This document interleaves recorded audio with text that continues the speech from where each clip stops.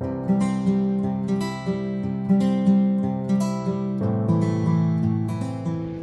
it's Annie Lou. How are you? So here I am at, what is this? Perkins Cove. Perkins Cove. And here are our new friends. Hi, ladies. Say hi. And where are you hailing from?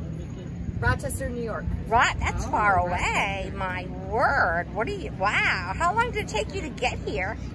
Seven hours. Did it? We're from Rhode Island, so, and we, this is my friend Debbie, Hi, Debbie. and this is Janice, and Janice lives here oh. in Ogunquit, but we've been friends since high school, No.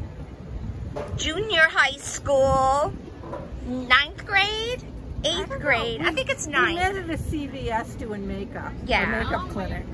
And That was- how, that was, I think it was seventh grade. No, not seventh. I wasn't in Cranston at seventh. I was there at eighth, but I think this was ninth grade.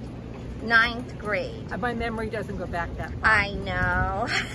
it happens Okay, bye. when you have old timers disease. Yeah, old timers is right. All right, Jan. Okay. Bye bye.